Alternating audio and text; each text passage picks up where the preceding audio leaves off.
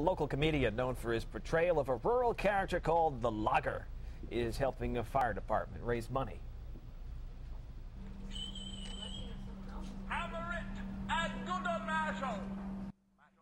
You may recognize this guy. Rusty DeWees will be performing his one-man show this Friday and Saturday in Saranac. And ticket sales will help the Saranac Volunteer Fire Department pay for everything from new equipment to transportation costs. He's a heck of a lot of fun. It's not horribly expensive.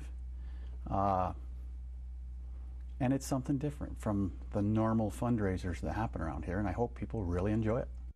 Oh, it is different. Tickets cost $20 a piece. If you'd like to see the show, it'll be at the Saranac High School starting at 8 o'clock both nights. You can buy tickets at the door, or you can call the number you see there, 293 8131. He is a very funny guy.